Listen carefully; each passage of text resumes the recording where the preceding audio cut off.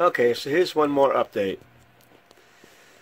Now I've reconnected in uh, DVD-ROM drive, as you can see there, DVD plus RW. Alright, so I had finally found a website that actually had the drivers for this motherboard. And this motherboard here is like the OG of the uh, P5LD2s because there's the P5LD2 VM dash V uh, dash SE. So there's multiple multiple varieties or, or, versions of this motherboard. Um, so going to the Asus website trying to find the drivers and BIOS for this motherboard was not easy, but I finally found them, and I finally found updated drivers as well. Uh, I mean, uh, BIOS as well as the drivers. And so I learned that one of the BIOS updates actually solves the problem with the high-speed 2.0 being disabled when uh, when the motherboard is defaulted, you know, put into uh, system defaults. So that's a fix, and um, I think maybe there's a couple other things that are addressed, like uh, updated processors and probably getting the full 4 gigs of RAM that's supposed to be available to this motherboard, because as of right now, it only supports 3 gigs. Um, so yeah, back to the drawing board here. Going to try and um, do what I did before, which is uh, get the BIOS to boot to this. But instead of booting to it specifically, uh, the what I realized, found out rather, is that when you go into Easy Flash for doing the BIOS, when I originally read up on it, it had stated that the the machine only supported uh, flashing via a floppy via via floppy drive, which of course, you know, no floppy here, which means I would have had to connect a floppy some other way, um, which is really not possible with the way this is set up right now, with all the things that are connected to it. I'd actually more than likely had to pull out the entire um, motherboard and put it into like an empty case or on a box or something. But I decided just out of curiosity to check the flash. Uh, excuse me, I forgot what I was trying to how, I was trying to say that. Um, the Easy Flash, what it supported, whether it was Easy Flash 2 or Easy Flash 1, because Easy Flash 2 will let you uh, flash the system with a flash drive, a thumb drive, you know.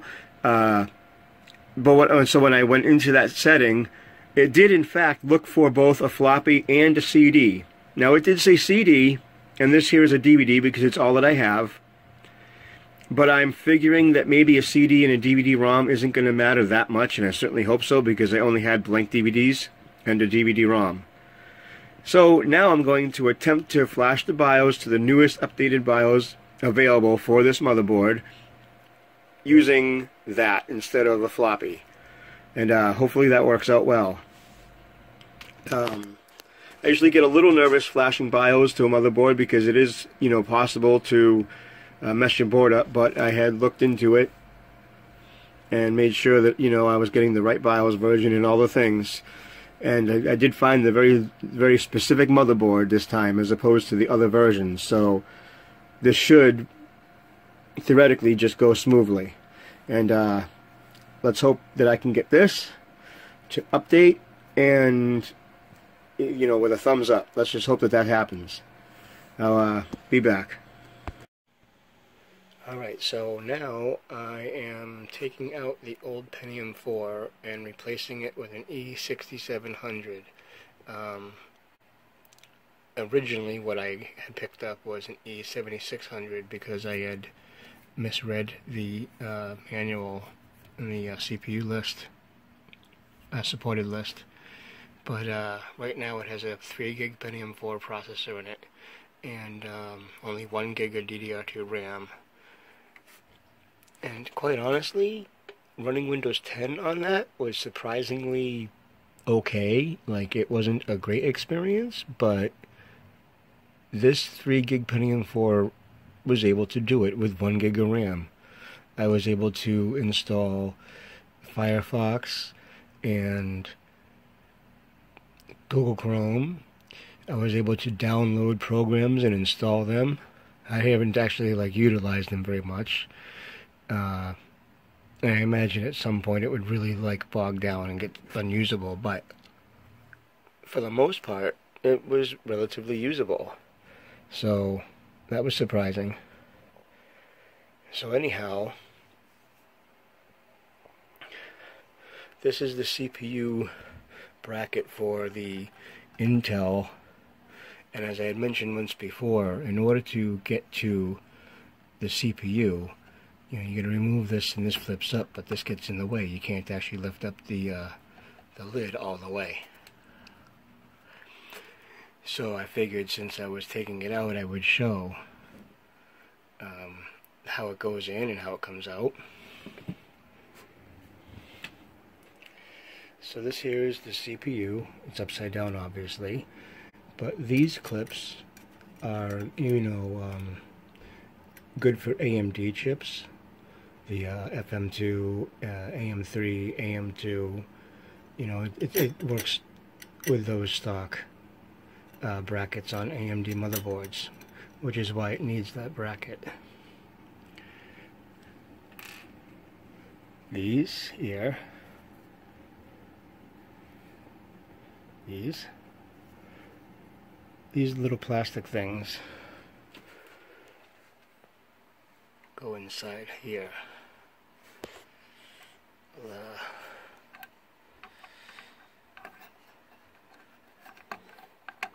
like like that and you, and you push them and you know you push them all the way in to lock it into place now one thing I had noticed is that they're kind of difficult to get back out again.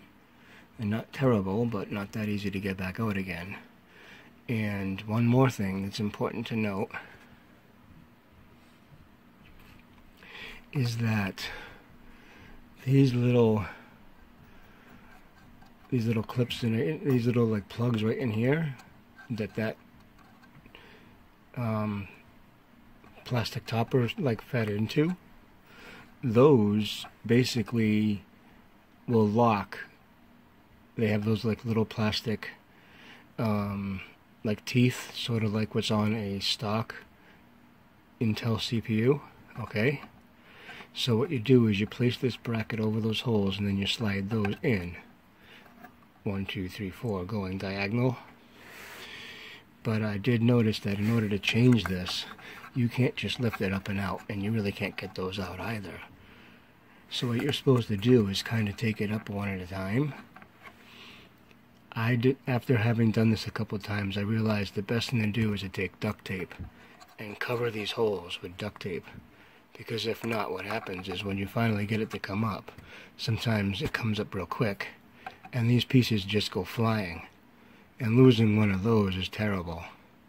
So the best thing to do is to tape it over with some duct tape and kind of seal it off.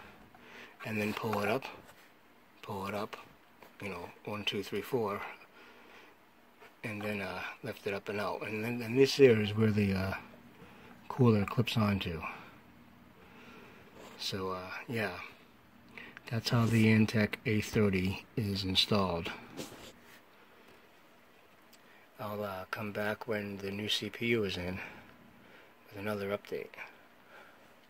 Thanks for watching.